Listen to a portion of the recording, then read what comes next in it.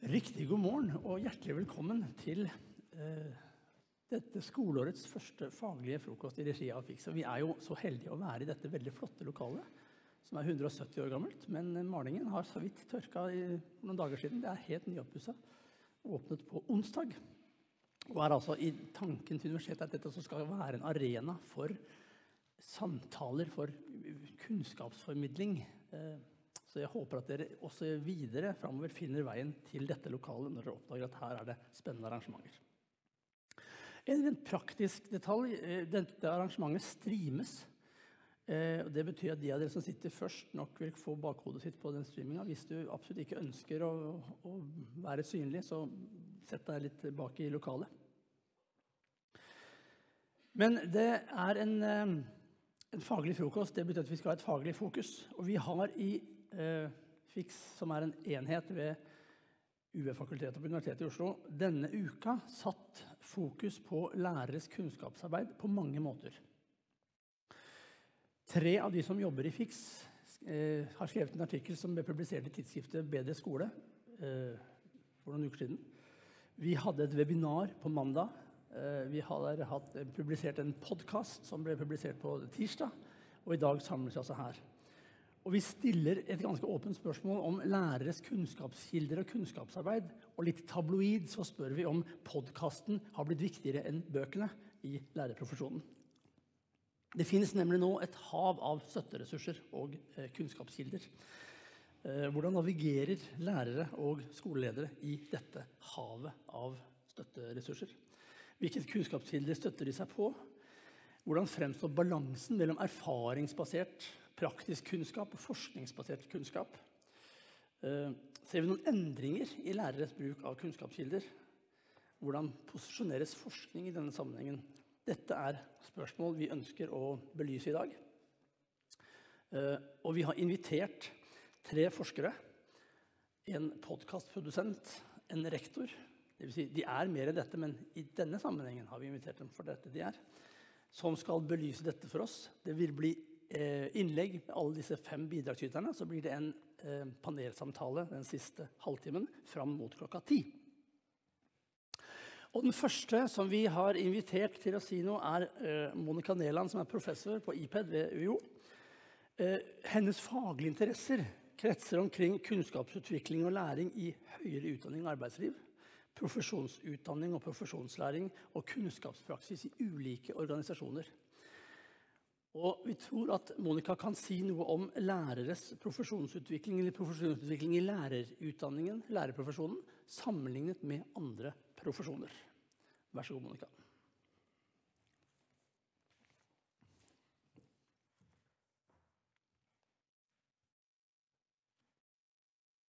Tusen takk, eh, og takk for spennende invitasjon til et eh, veldig spennende og evig aktuelt vil jeg nesten si, tema.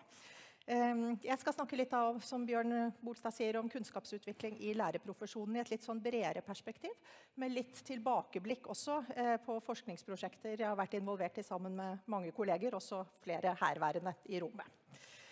Ehm, et utgangspunkt er at ehm, man kan snakke om et utvidet ansvar over tid i profesjonene generelt fra en tid eh, mange tiår tilbake hvor man tenkte på profesjonsutøvere som noen som tar forskningsbasert kunnskap og bare iverksetter det, eh, bare iverksetter det overfor eh, spesielle situasjoner, elever, klienter, yrkesoppgaver, så er det mange andre oppgaver som har kommet til over tid. Ehm, og blant de oppgavene så ligger også dette å holde kontakt med et, et fagfelt i utvikling. Bare vi stopper der, så er jo det komplekst. Hvilket fagfelt snakker man om når det gjelder lærere?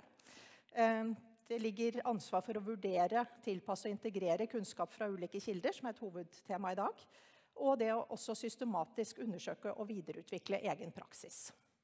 Ehm, mye av det arbeidet hvor man observerer egen praksis, systematisk kartlegger den og videreutvikler den, er også knyttet til det arbeidet som skjer direkte med elever eller klienter eller brukere i andre profesjoner. Men vi har også sett en utvikling i stadig mer såkalt backstage-arbeid.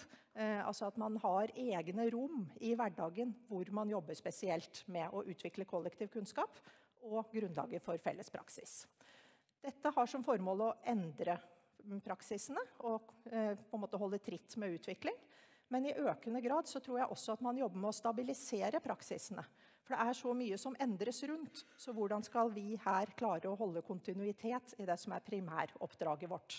Så det er også en viktig side av, eh, av den endringsdynamikken.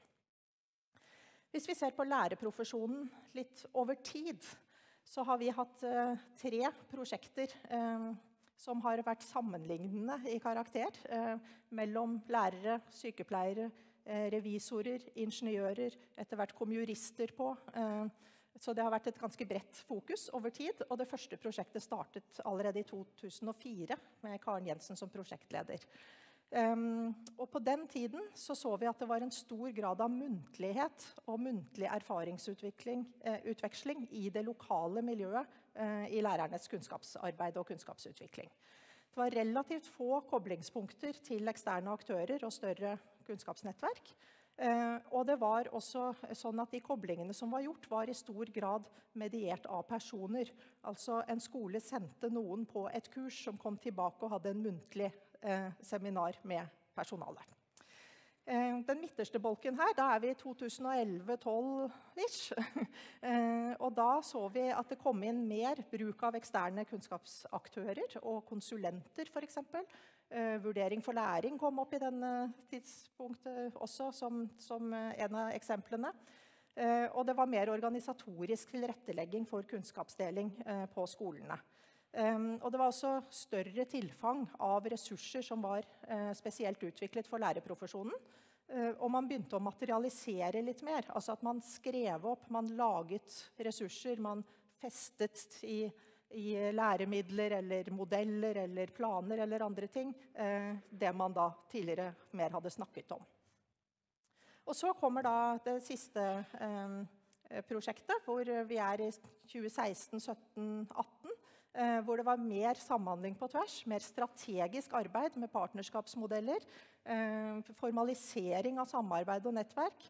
Eh, dette seminaret er vel et eksempel på, noe av det. F.eks. universitet og universitetsskolepartnerskapsmodeller. Så det har vært en ganske stor endring eh, som, eh, som, ligger her, og som man for så vidt tar del av ennå. da.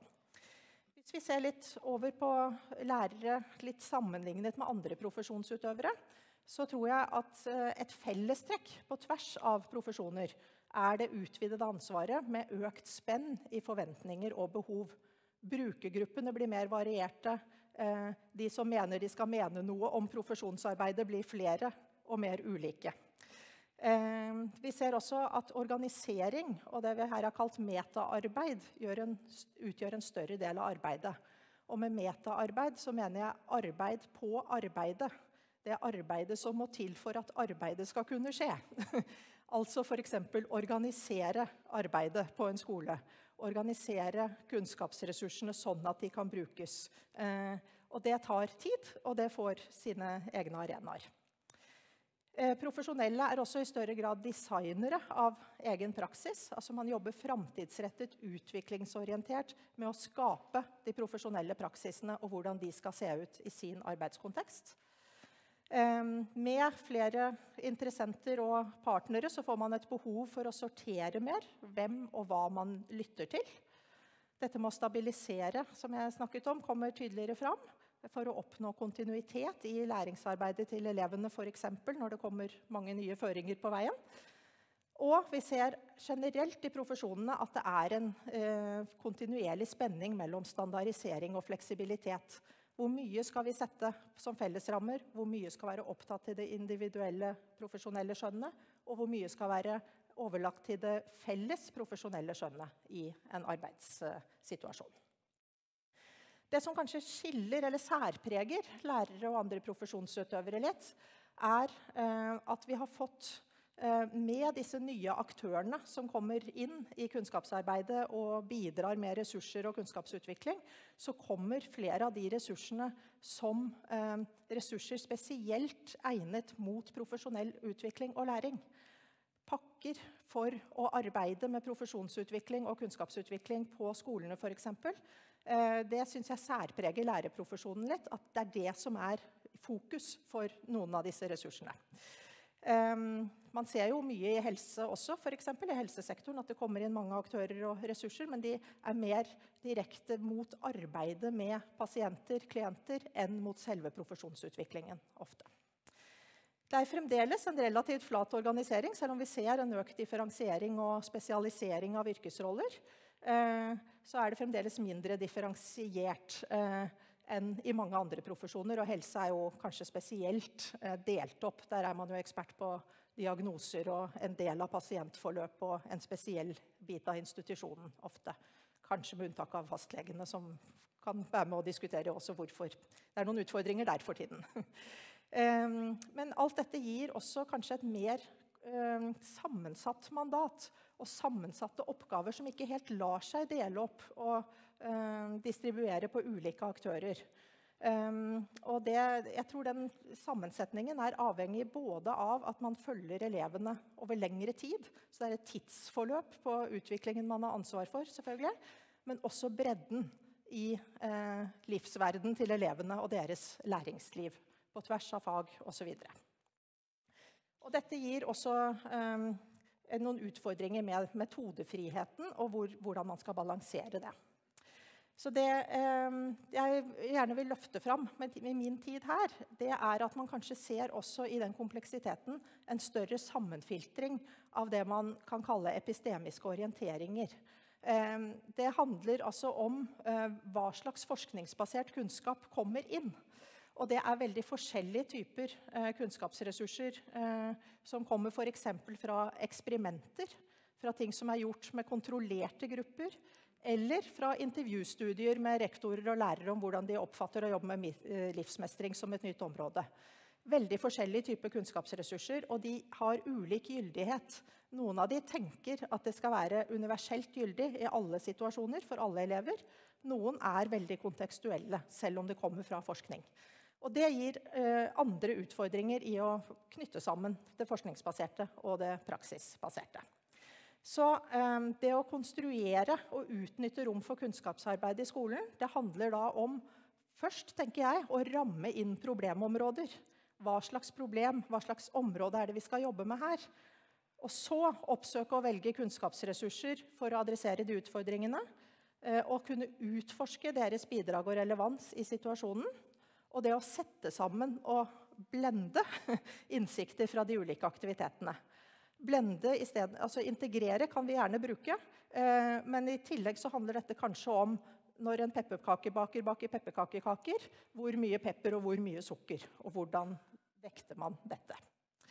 Så eh, jeg tenker at Tilretteleggingen for felles kunnskapsutvikling handler da om å gi disse prosessene oppmerksomhet. Eh, og anerkjenne spenningene mellom kunnskapsformer og kilder med ulik opphav og å utvikle kapasiteten for å jobbe i disse rommene med de ulike, også forskningsbaserte kildene.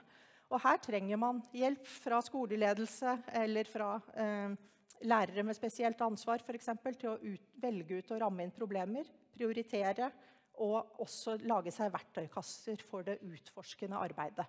Ikke bare tenke velge ut og bruke, men hvordan undersøker vi relevansen av dette. Så det var et lite oppslag herfra og noen referanser her til slutt. Takk.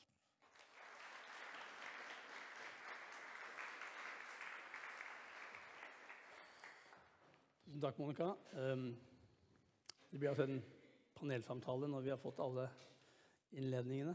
Hvor alle innlederne kommer til å delta i denne panelsamtalen.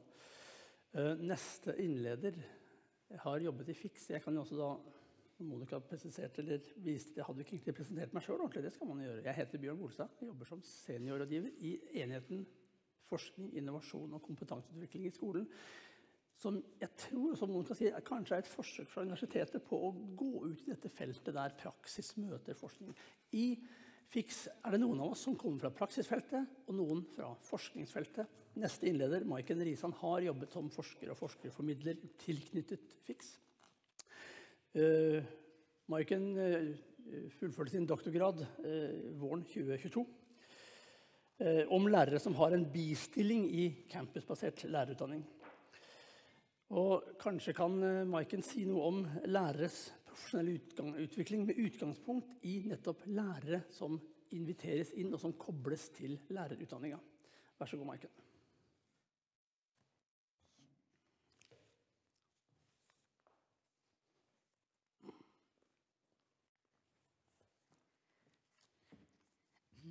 Tusen takk, Bjørn. Skal vi se um, Kjempeinteressant innlegg av Monica, og tusen takk for at jeg får lov til å være her i dag. Utrolig vakkert sted og masse folk. Kjempekoselig. Eh, jeg kommer til å prate om eh, litt av hvert. Litt det du snakka om, Bjørn. Eh, det her med å gå liksom mellom skole og høyere utdanning. Men også kommer jeg til å snakke litt mer om denne her mulighetene av kunnskapskilder som finnes. Og forskningsdagene her jo, handler om hav. Så derfor har jeg prøvd liksom å putte inn litt hav i alle slides. F.eks. et bilde her av hav av muligheter. ikke sant? Jeg kommer ikke til å følge den metaforen videre, da. men jeg har kalt presentasjonen min 'Et hav av muligheter' og kommer til å se litt på de her eh, mulighetene, kunnskapskilder og ressurser som er tilgjengelige for lærere. Eh, og så snakke litt om muligheter og utfordringer som det da byr på. Eh, og da kommer jeg til å ta ganske mye utgangspunkt i denne artikkelen også, eh, som jeg gjorde i det webinaret. Eh, som er skrevet sammen med Øystein Gilje og Eli Tronsmo. Fantastiske folk som sitter i rommet her. Eh, som også jobber i Fiks. Der vi har da tatt et lite, sånn, lite dypdykk igjen da, i havet. Eh, og sett litt på de tilgjengelige kunnskapskildene som er for lærere. Og ment mot lærerprofesjonen. Og det Vi har gjort der, det vi har vært interessert da, i det her med FIX, og vi jobber jo med å lage en kunnskapsbase. og Samtidig med det så lurer vi jo litt på men hvor går egentlig lærere da for å finne kunnskap? Og hvilke kilder er det egentlig som er tilgjengelig? Så det vi har gjort med denne artikkelen er å prøve å kartlegge litt de ulike ressursene eller kildene som da er tilgjengelige. Eh, så det kommer jeg til å snakke litt om først. Eh, nå har jo Monica hatt en kjempegodt innlegg om eh, lærerprofesjonens kunnskaps kultur- og kunnskapsarbeid. Men jeg har tenkt bare kjapt å si litt om sånn, sånn grunnleggende med det med profesjonskunnskapen, og hvorfor det er relevant for det her med kunnskapskilder. Um, og vi ser jo da en endring i kunnskapskulturen til lærere også. Det her med at man tidligere kanskje har tenkt at den er mer individuell og taus, denne lærerkunnskapen. Eh, så har man jo også sett mer eksterne og politiske krav for også om at lærerprofesjonen er jo så forskningsbasert. Det reflekteres jo også i lærerutdanninga. Den er forskningsbasert, og den skal også være praksisnær og relevant. Eh, og så eh, ser vi også et større fokus på det her med profesjonsfellesskapet. At kunnskapsarbeidet skjer jo også i profesjonsfellesskapet. Og det er jo løfta fram nå i, i, LK20 også. Så jeg tenkte at det bildet her illustrerer fint. ikke sant? Man sitter jo med sin egen individuelle kunnskap, men også mer fokus på at det også samarbeider i denne profesjonsfellesskapskulturen. da.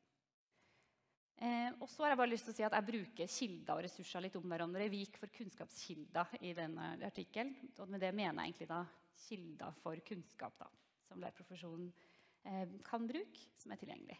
Kunne nok også sagt eh, eh, kunnskapsressurser. Og så kommer jeg også til å si kunnskapsformer. og det er jo en stor diskusjon på om man egentlig skal si det, For forskningsbasert og praksisnær kunnskap er selvfølgelig integrert. ikke sant? Men eh, jeg liker noen gang å bruke det også det her med et lite sånn skille på kunnskapsformer, fordi man da lettere kan snakke om hvordan de henger sammen. Da.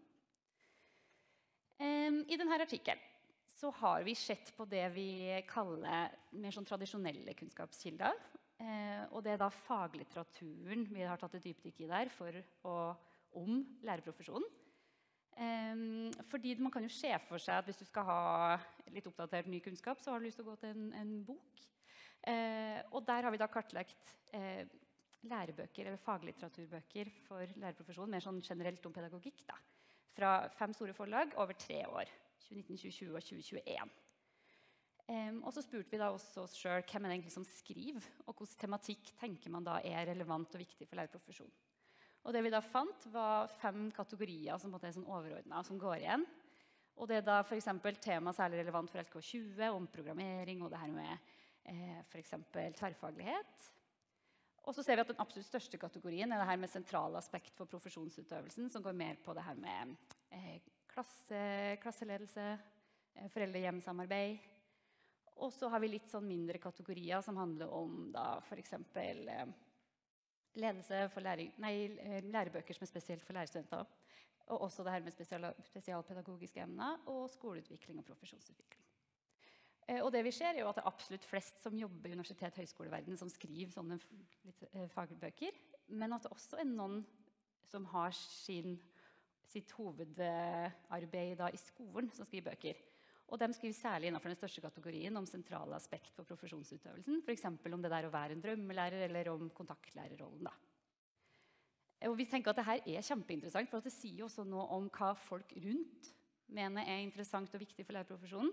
Samtidig som det viser også litt hva lærere kanskje da tenker mangler og har lyst til å skrive bøker om sjøl. Og de er jo ofte også fagfellevurdert, særlig de som er skrevet av ansatte ved universitet og høyskole. Så det sier også noe om kvalitet, og at man har på en måte eh, sjekka den bøkene på en måte som f.eks. Facebook-sida ikke gjør. da. Um, og så har vi også tatt et lite dypdykk inn med nyere kunnskapskilder. og da sett på f.eks. Eh, kompetansepakkene til UDIR. Det tipper jeg kanskje Berit skal snakke litt mer om. Men det er jo et eksempel på eh, ressurser eller kilder som blir mye brukt på ulike skoler. Eh, og inviterer f.eks. også til felles arbeid i profesjonsfellesskapet. Og så er det også et spørsmål der hvilke kunnskapsformer de inviterer til å bruke. Eh, og så har vi sett på Facebook. Eh, der har vi bare tatt et litt sånn overordna blikk på største gruppa for lærere. og Der er det jo mange Facebook-grupper som for ble tydelig under korona, da, som var veldig sånn, opptatt av å dele undervisningsmateriell, f.eks. Tips og triks. Så det er også noen sider som er mer interessert i å dele forskning. Men her viser jo også internasjonal forskning at det er ganske få som faktisk bidrar på sånne Facebook-sider. De fleste er nok der for å finne inspirasjon, men det er ikke veldig mange som faktisk bidrar aktivt. Og så har vi sett på podkast, som Elise kommer til å snakke mer om. Og Der er det mange populære podkaster retta mot lærerprofesjonen og laga av lærere. Um, og her er det da interessant uh, Oversikta her viser Den er litt sånn sammenskvisa nå og ble litt sånn rar, men eh, viser at det er veldig mange som lytter jevnlig til skolepodkaster. F.eks. Rekke opp handa. eh, som han Martin Johannessen, programlederen, var jo på webinaret på, på mandag. Og de tar jo opp da tema som man tenker er relevant og interessant. Og så er det avhengig da litt av hvem man inviterer inn. Om hvilke stemmer som da blir løfta fram. Er det forskeren, er det praktikeren, er det begge deler? Um, og det vi også synes er interessant, da, er jo, ikke sant, Blir det da opp til den individuelle, interesserte lærer å sette seg inn i sånne kunnskapskilder, eller blir det også faktisk brukt da i profesjonsfellesskapet? Um, det har, har, jeg ikke sånn fasitsvar på, altså. Um, jeg tenker at de her det havet da, av tilgjengelige og mulige og, og, til, eh, kunnskapskilder den byr jo både på muligheter, men også noen utfordringer. Jeg Det å ha så mye valg gjør jo at man har utrolig stor eh, altså Du har tilgjengelig informasjon veldig kjapt, og du kan holde deg oppdatert. Du kan eh, sitte på T-banen på vei til jobb og tenke at du har fått masse, masse inspirasjon til neste undervisningstime. Eh, og du kan også tenke at det er veldig sånn aktuelt og relevant, de kunnskapskildene man da har tilgjengelig. Og veldig enkelt å få tak i det her med tips og triks og informasjon. Utfordringene vi gjerne vil peke på, som vi gjør i denne artikkelen, er også at det er kjempevanskelig å kunne navigere og på en måte finne fram i det her mangfoldet av kilder. da. Eh, og det krever ganske mye kompetanse. Også vit, ikke sant, kritisk gjennom om det her er det du blir presentert, hvilken type kunnskap er det? Er det kvalitet? Um, og så er det jo også det her med at uh, kunnskap ofte må oversettes. Det er en ganske sånn kompleks uh, kunnskap, det også. At uh, man kan jo få kunnskap servert som allikevel må oversettes til egen praksis, da, f.eks. Uh, og det der å sette ord på hva kunnskapen består av, og ulike element, er jo en vanskelig, um, en vanskelig kompetanse. Og så er det også det her spørsmålet med om det blir brukt i profesjonsfellesskapet til å skape liksom felles forståelse, eller om det blir brukt litt sånn individuelt. Da. Og det jeg syns er spesielt interessant, som jeg også eh, skrev eh, mye av avhandlinga mi om, er jo det her med om ressurser og kilder inviterer til å synliggjøre, problematisere og skape koblinger mellom ulike kunnskapsformer. Da. Um, og da tenker jeg jo at Vi kan selvfølgelig igjen kritisere det her med forskning og praksis, men ofte så, så, er det jo interessant å få reflektert om hvordan de her henger sammen, utfordrer hverandre, og hvordan både forskningsbasert kunnskap og praksisnær kunnskap kan på en måte settes sammen til å utvikle praksis. da. Um, og det jeg finner for i forskninga mi på de her lærerne som går inn i høyere utdanning, er jo at den kunnskapsformen som på en måte blir satt øverst, eh, satt i front, det kommer jo også an på kontekst. Hvor eh, for Når de går inn i høyere utdanning, så føler jo de at forskningsbasert kunnskap absolutt blir mest verdsatt. Eh, og føler at de må jobbe med det. En av forventninga var kanskje at de også skulle bidra med praksiskunnskapen. Og så kan man jo ha lignende eh, tanker hvis man er en forsker som går inn i skolen. Eh, og så er det jo også denne opplevelsen av relevans som stadig går igjen. At eh, forskningsbasert kunnskap skal jo også føles relevant. Da må det også settes i en, i en uh, sammenheng. Um, og det som jeg tenker også Fiks jobber jo med, det her å sette sammen um, ulike miljø og skape måte, rom og, og anledninger og arenaer for at forskningsbasert og praksisbasert kunnskap skal jobbe sammen. Uh, der synes jeg det er interessant at Forskning har jo vist at høyere utdanningsaktører blir jo ofte uh, ansvarlig for å liksom, løfte praksiskunnskapen og gi den en mer sånn dypere mening. Men at vi kanskje fremdeles trenger å jobbe litt med det der at det motsatte bidraget skal også bli eh, løfta fram. Da. Praksis påvirker også forskning og de kildene som blir eh, laga. Da. Eh, da ser jeg Bjørn liksom nærme seg scenen. Så det var det jeg hadde for nå. Tusen takk for oppmerksomheten.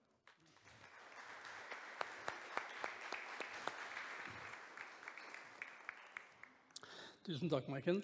Det er sånn med disse innlederne at jeg skulle veldig gjerne liksom hørt dobbelt så mye fra hver av dere. Vi skal ut i praksisfeltet. Vi skal få opp på scenen en som inntil i sommer jobbet som rektor. Siv Jacobsen var rektor på Lambertseter videregående skole. Blant annet har en lang fartstid fra skolen. Nå er hun min kollega som seniorgiver i FIX. Men vi er også nå på jakt etter å høre eh, Sivs betraktninger om den jobben hun forlot i, i, eh, i, juli. Hva gjør en rektor? Hvordan jobber man på en skole for å få en sammenheng mellom forskning og praksis for å utnytte dette havet av kunnskapsressurser? Vær så god, Siv.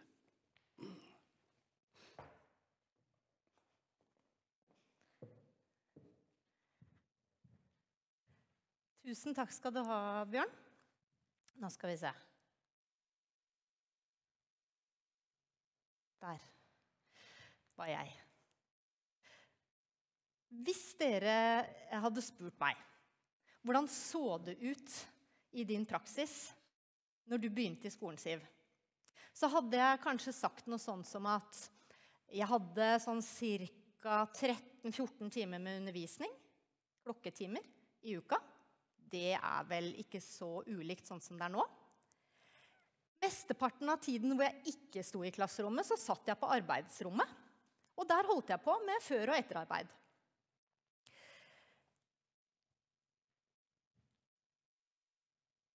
Jeg eh, var ny som lærer og litt sånn sulten på didaktikk. Så jeg googla ganske mye. Selv om dette her var på begynnelsen av 2000-tallet så var det veldig lite norske kilder jeg fant. Så jeg endte opp veldig fort på amerikanske sider. Ehm, det var veldig vanskelig å oversette. Eh, læreplanen var jo en helt annen. Konteksten var helt annerledes. Men det var i hvert fall et eller annet der som handlet om hvordan jeg skulle organisere lærestoffet, hvordan jeg skulle jobbe sammen med elevene mine for at de skulle lære. Men som bredt bortsett fra det, så var nok den primære kilden til min utvikling som didaktiker og lærer, det var kollegaene mine. Som var velvillig innstilt til å gi meg råd, hjelpe meg til å forstå den elevgruppa som jeg hadde. Men sånn er det jo ikke i dag.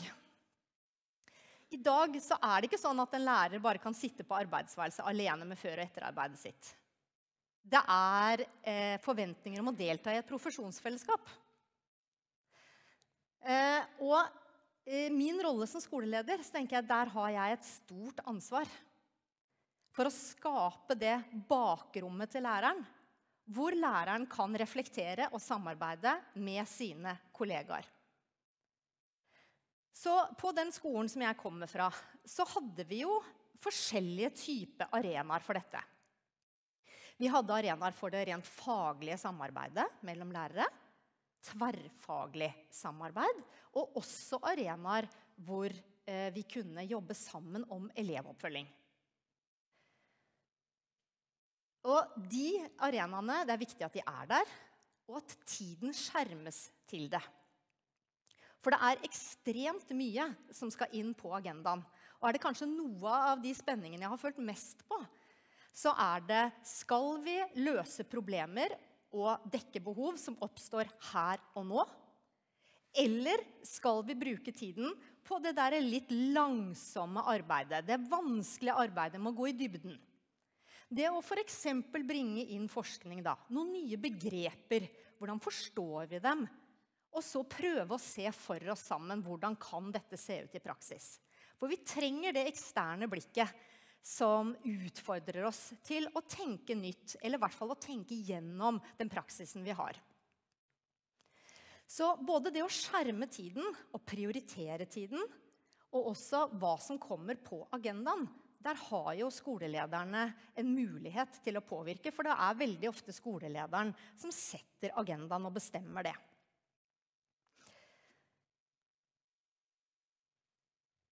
Det er en forventning i samfunnet til oss som profesjon at vi skal holde oss faglig oppdaterte. Og det tror jeg ingen er uenig i.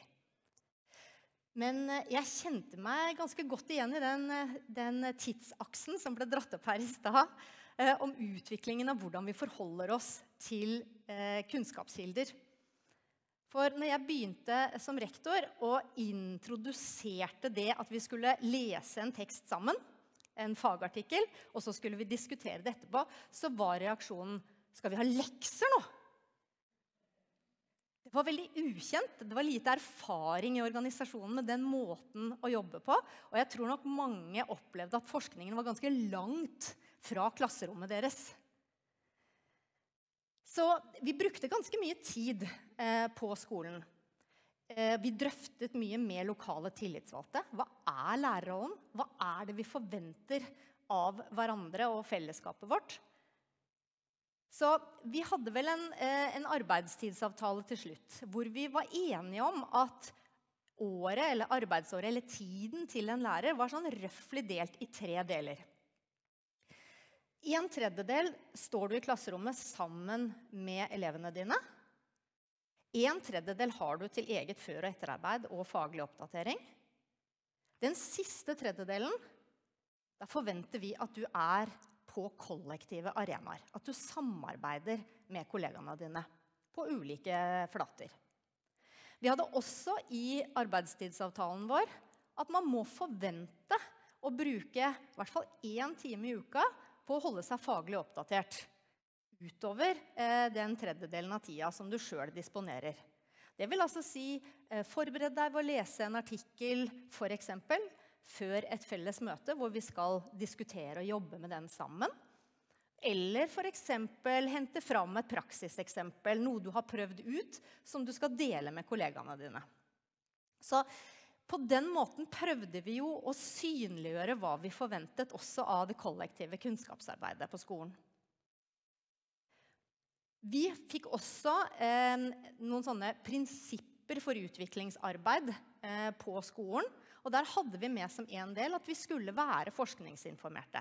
Høres kanskje i dette forumet her litt sånn selvsagt ut. Men det var for å tydeliggjøre hva slags rolle vi så eh, oss sjøl inn i da, som eh, profesjon.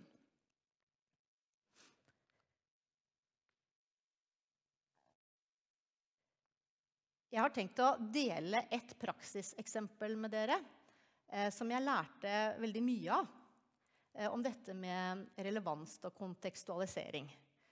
Eh, det at jeg sier jeg lærte mye av det, det er bare en fin måte å si at vi skøyt bom. for å si det sånn. Det, vi traff ikke i det hele tatt. og det handler om den pakka, kompetansepakka til UDIR på vurdering for læring.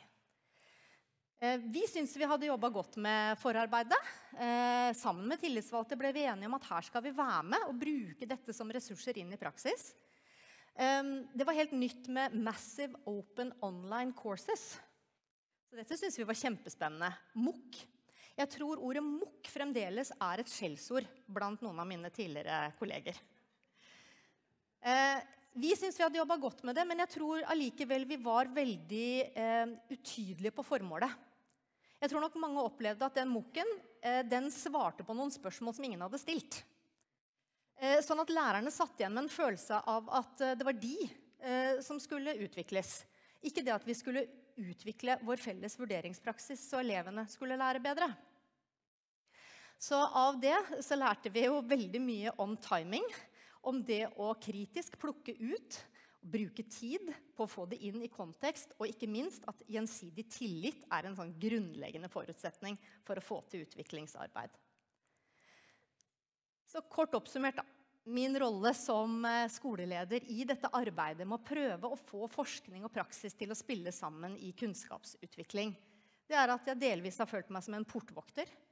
Det er ekstremt mange forventninger som stilles til skolen, og mye som kastes på. Og jeg må si, stå ved inngangsdøra og si 'Hva skal jeg slippe inn på skolen min?' Og jeg tror lærere også føler et forventningspress om å holde seg faglig oppdatert på veldig mange forskjellige områder. Så i hvert fall på den kollektive arenaen hvor jeg kunne sette en dagsorden, så måtte jeg prioritere. Og det er skummelt, for da vil kanskje noe havne i blindsona. Og det var jeg jo redd for. Men samtidig så følte jeg meg som en stasjonsmester. Fordi jeg så jo at det var noen tog som gikk, som jeg hadde lyst til at skolen min skulle få muligheten til å delta på. Dekomp-samarbeid, eh, nettverk, satsinger som skoleeier står for. Så det å forsøke å få de togene til å bremse, sånn at vi kunne hoppe på dem når vi syntes det var noe relevant der, det var også en del av rollen min. Takk.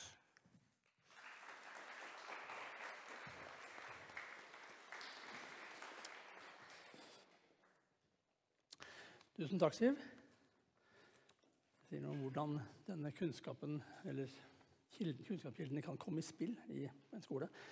Eh, vi skal avslutte med nok en forskerstemme. og Vi eh, skal hente inn følgeforskninga til eh, læreplanen LK 2020, prosjektet som heter EVA 2020. Berit Karseth er professor ved UiO og leder dette forskningsprosjektet. Og kanskje, Berit, kan du belyse oss eller opplyse om, om hvorvidt EVA 2020 og arbeidet med den kan gi noen perspektiver på profesjonell kunnskapsutvikling i skolen. Vær så god.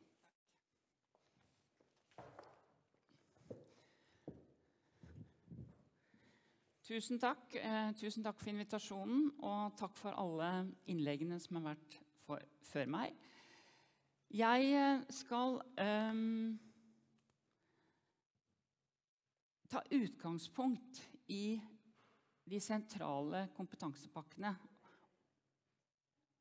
Hører dere meg? Ja. Kompetansepakker som strategi, og hvor uh, vi er interessert i å se på Utdanningsdirektoratets rolle og tilnærming. Er det slik at den nasjonale styringen har endret seg i, eh, i arbeidet med fagfornyelsen eh, i forhold til tidligere eh, reformer? Utgangspunktet her er denne rapporten, som er rapport nummer fire fra eh, evalueringen av fagfornyelsen, som er det prosjektet vi kaller for EVA 2020 ved fakultetet. Og denne rapporten er skrevet av Ole Andreas Kvamme og Eli Ottesen, som sitter der, og meg. Og det er den jeg vil bygge på i, i dette innlegget. Og utgangspunktet, jeg tror, eh, for, eh, for også profesjonelt arbeid er eh, at lærerprofesjonen Vi tar det kanskje litt for gitt, men at lærerprofesjonen styres gjennom eh, en nasjonal styring, gjennom et læreplanverk, gjennom et lovverk. Det er institusjonelle rammer som settes, som vi kanskje tar for gitt, for hvordan et profesjonsarbeid skal foregå.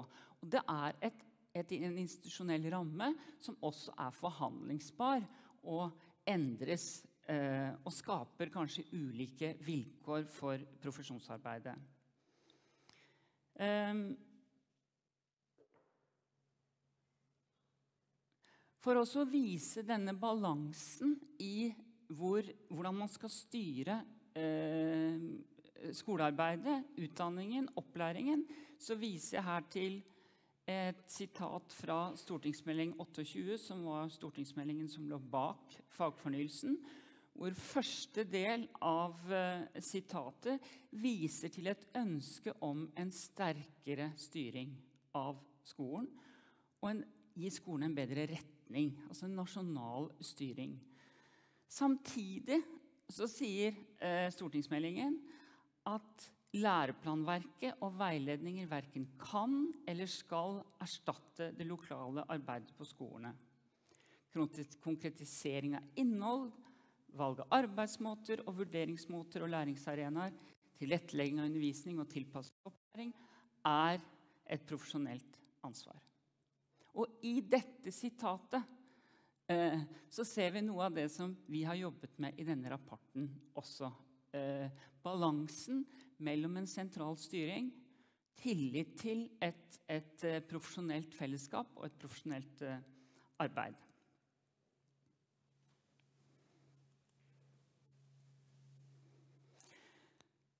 Så vil jeg si litt om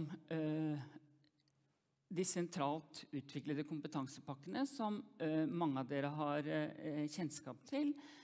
Og det er den pakken som knytter seg til iverksetting, altså gjennomføringen av fagfornyelsen, som vi har analysert i denne rapporten. Og den har vel nå sju pakker, mens den hadde fem pakker på det tidspunktet vi gjorde analysen.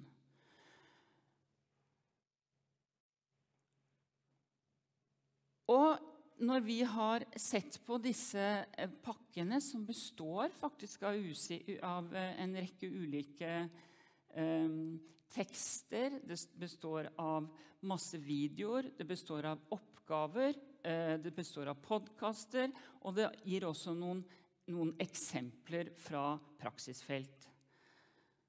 Så konkluderer vi med at eh, disse pakkene gir en god struktur til å jobbe med implementering og iverksetting av fagfornyelsen. Den presenterer innhold, den presenterer arbeidsmåter, og som sagt, den har en tidsstruktur som ledelsen også kan ta i bruk i sitt arbeid. Så sånn sett så ser vi at disse kompetansepakkene kan være nyttig for lokalt læreplanarbeid. Pakkene er også, og det er det som også gjør det til at direktoratet bruker disse pakkene, har utviklet disse pakkene slik at de eh, eh, følger opp de sentrale begrepene som ligger i fagfornyelsen. Så det er de, det er dybdelæring, det er tverrfaglige temaer, det er verdiløft. Det er disse temaene som fagfornyelsen, eh, kjerneelementer som fagfornyelsen har i seg, som som er sentralt i disse pakkene, og som antas og kan være med til å skape en sammenheng i læreplanverket. Men så stiller vi spørsmålet er det rom for fortolkning, refleksjon og meningsforskjeller i de oppleggene som eh, ligger i disse pakkene.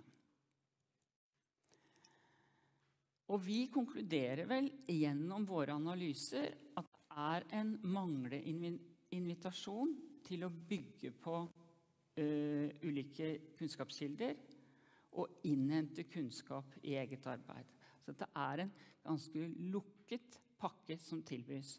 Og det er der, eh, som Siv er inne på, eh, hva gjør skoleleder, hva gjør skoleeier med denne pakken for å sette den inn i den institusjonale rammen og de problemområdene som Monica snakker om, eh, som skolen har.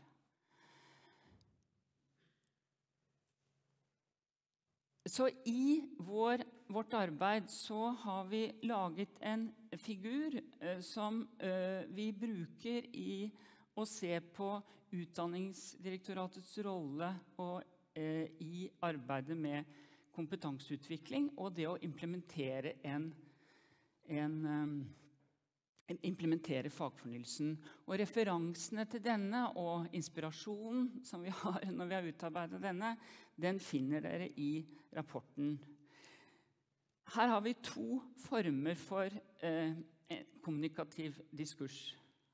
Den ene har en, eh, en mer overtalende eh, Et kjennetegn av en overtalende diskurs. Den er autorativ i sitt innhold. Er sentrale begreper som skal implementeres. Og den ender i en slags standardisert forståelse av begrepsbruken, som legger rammer for tolkningsarbeidet. På den andre siden har vi en mer overveiende åpen, deliberativ eh, eh, kommunikasjon, hvor refleksjonsarbeidet er vesentlig. Hvor det er en åpning av begrepsbruken i oversettelsesarbeidet.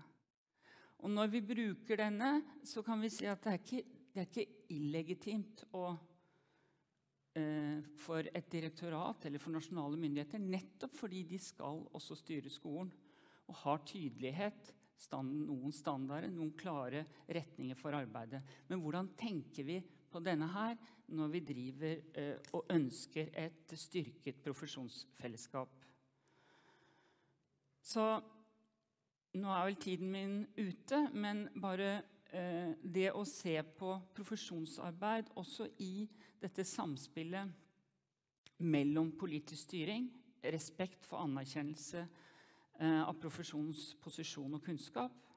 Det er et omfattende digitalt støttesystem som er utvikla, som skal inn i dette samspillet. Eh, og det er utfordrende. Og jeg har lyst til det å si i denne sammenheng, i denne stund, at vi er i en situasjon med en alvorlig konflikt som berører dette samspillet.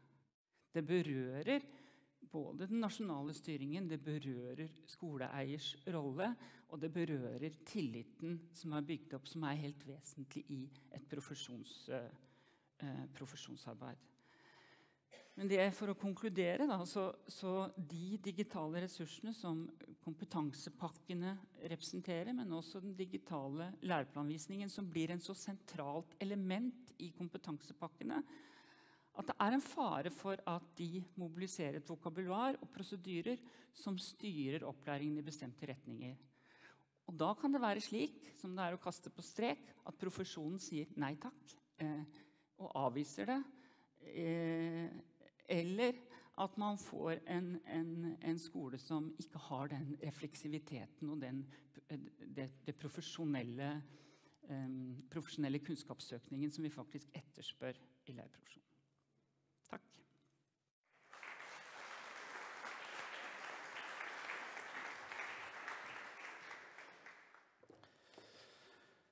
Tusen takk, Berit.